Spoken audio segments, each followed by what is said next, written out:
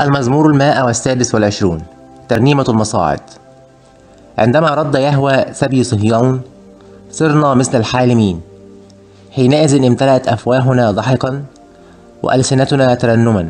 حينئذ قالوا بين الأمم إن يهوى قد أجرى أمورا عظيمة مع هؤلاء.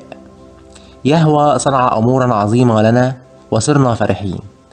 أردد يا يهوى سبينا مثل السواقي في الجنوب الذين يزرعون بالدموع يحصدون بالابتهاج ومن يذهب باكيا حاملا بذاره يرجع مترنما حاملا حزم حصيده.